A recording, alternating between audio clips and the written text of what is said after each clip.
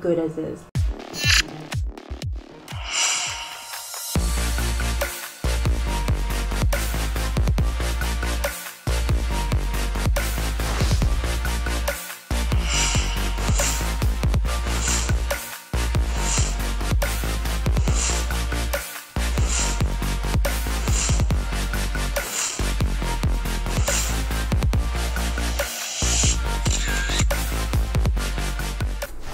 Welcome back, Minion Squad! I'm Little Mea, and welcome back to another episode of Little Mea's Mukbangs. You guys, another awesome, I want to say simple meal, but it's pretty tasty, so I don't want to take away from how awesome this pad thai dish is. I'm excited for this one because I have not had pad thai in the longest time, and finally, here we have it pad thai homemade. Yes just the way i like it. So you guys without further ado let's get this party started shall we? Let's dig in and i'll go through what went into everything. So i'm going to take my first bite right now. Mm.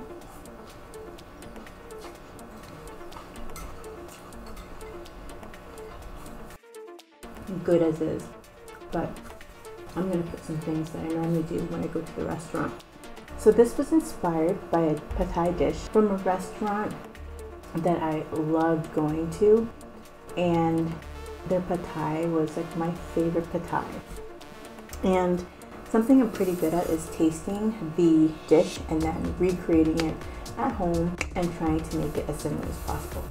So at the restaurant I would add a little bit of hoisin sauce just to give it that like a little bit of barbecue sweet taste. Now I'm just gonna add a little bit of my garlic oil, of course, just a little bit because as you all know, I'm pregnant and I've got to chill out on the spice just a little bit. But spice is good for pregnancy, so And then I'm going to put the regular garlic, chili, not the oil, just garlic chili. That's it, just a little bit.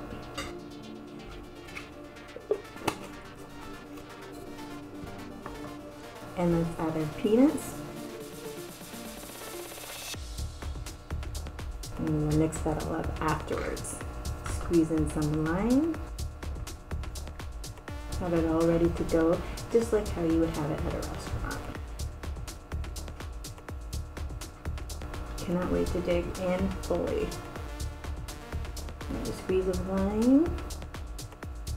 I have a vegetable drink, which is very good for pregnancy because it's got all sorts of yummy, delicious veggies in it. So you guys, mixing it all up with my peanuts, so there's shrimp. My mouth is watering. There is cuttlefish. There's chicken breast and shrimp balls because I wanted to do it my way with all the goodies that I enjoy. And pad is one of those amazing dishes that you can add kind of your little own flair to it because there's so many kind of like different ways to do it. In my culture, we would call this migala. Another one I want to make is migabang, which is, I believe it's like the beef noodles, but the thick beef noodles. So here you go, first bite. Or second bite. Mmm. Mmm. Catfish. Mm.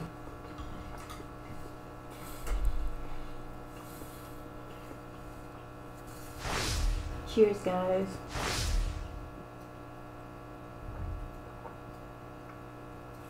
Everything is hitting the spot. and I wear red just to go with the red drink and then pad thai looks pretty red as well. There's bean sprouts, red peppers, and onions.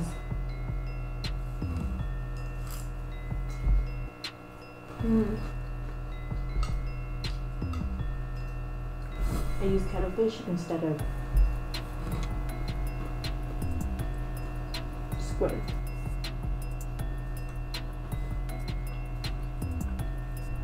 Shredded carrots and green onions as well.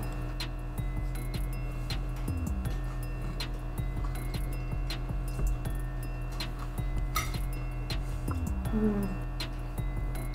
So good. So you guys, be sure to give this video a big thumbs up. Subscribe if you haven't already.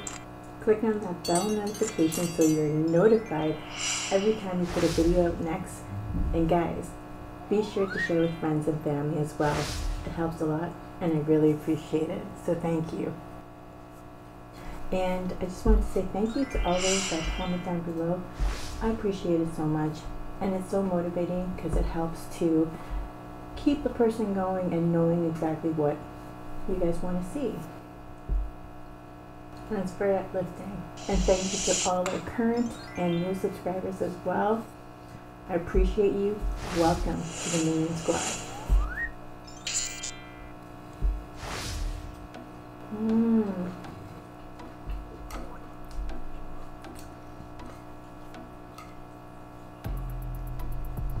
Justin had some earlier. And he said it was pretty good. He really enjoyed it, so that's a thumbs up for me.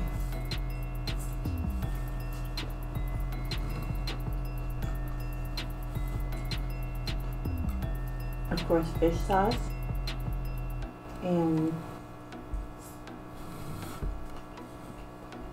wine sugar. I used a paste, a Thai paste, that already had a lot of the mixture in it. But remember, it's just a base. You've got to elevate it, right, and add your own touches. I also used ketchup. I know it's not authentic to use ketchup, but it gives such a beautiful color. And honestly, to me, it doesn't take away from the taste.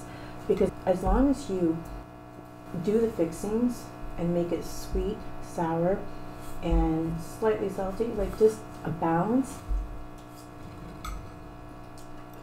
It's not going to take away. I don't even taste the ketchup to be honest with you. Because I didn't overdo it, I just wanted it for the color.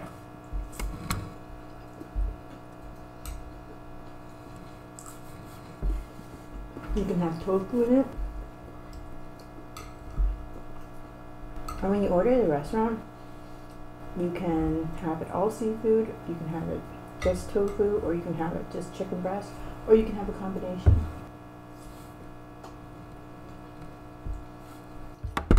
I did a combination.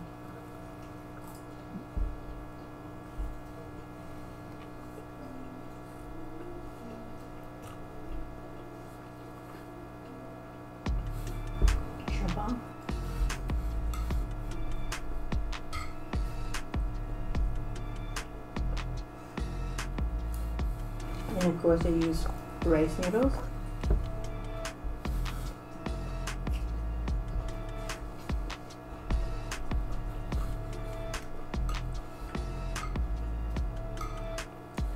And you just gotta play around with the flavor and adjust it and make it just right.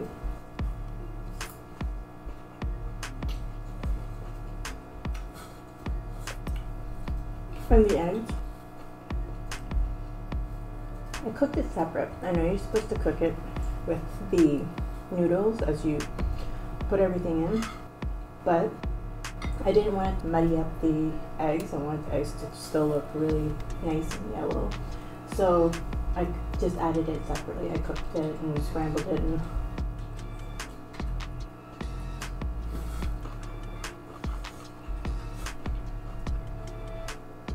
I've done it the other way as well. It's just as good.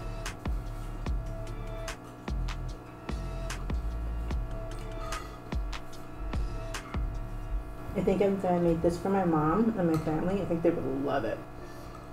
Because I don't think they've tasted it quite like this.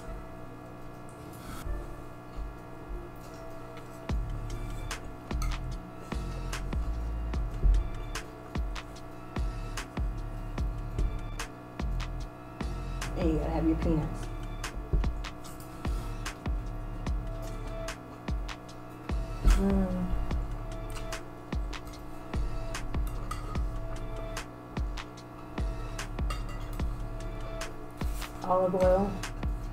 I used olive oil. And a little bit of vegetable oil. And garlic. Onions.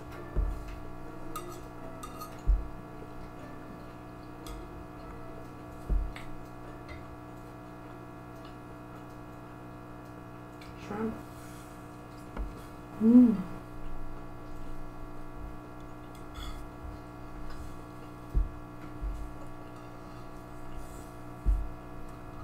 I hope you're all doing well and keeping your spirits up. You guys, remember, we can get through anything together.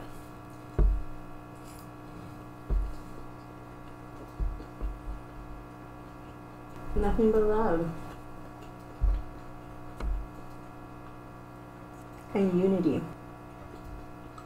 That's what I truly believe inside of my heart.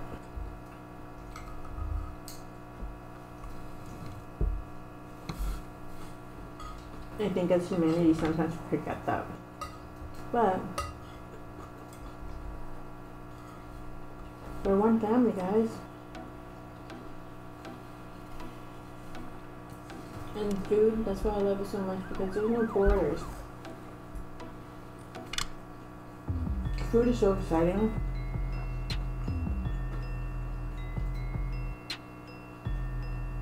And seeing each culture do their own thing with the ingredients they have, it's amazing.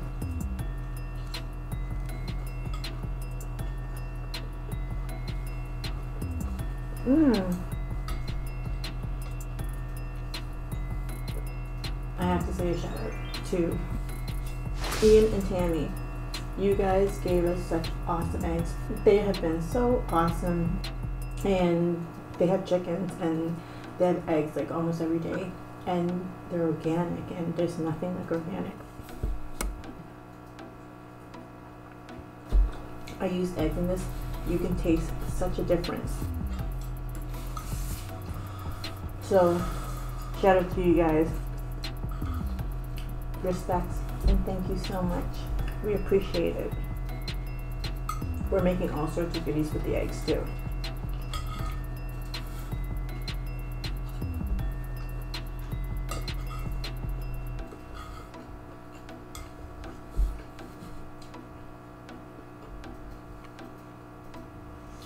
Dream.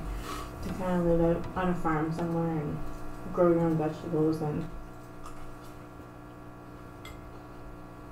have your own chickens and animals.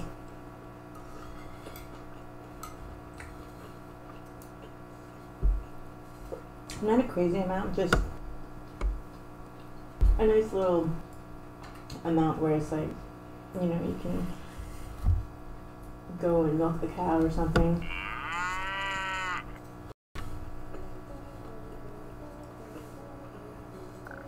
I've my mom and dad in their garden, so I really like the process of growing peppers and cucumbers and tomatoes and so many different things.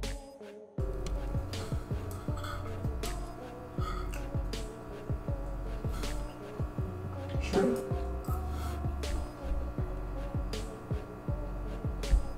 Mm. The pie is so flavorful.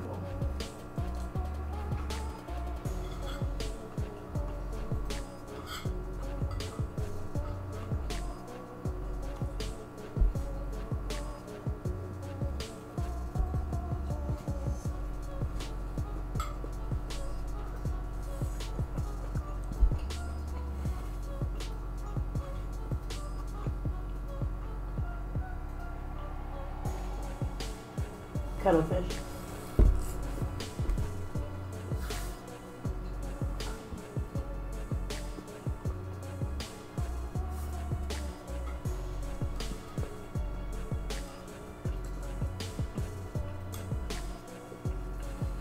I cooked the shrimp, the cuttlefish, the chicken,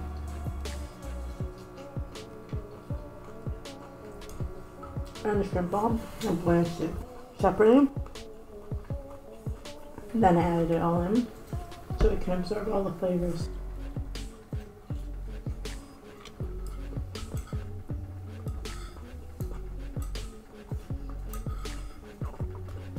Mm. Just the perfect amount of spice. Not too crazy.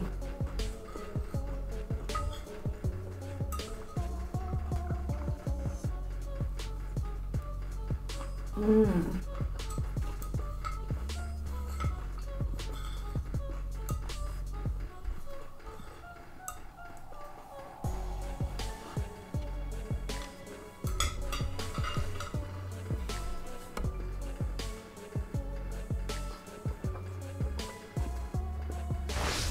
Wow. This was so good. I have to take every last bite.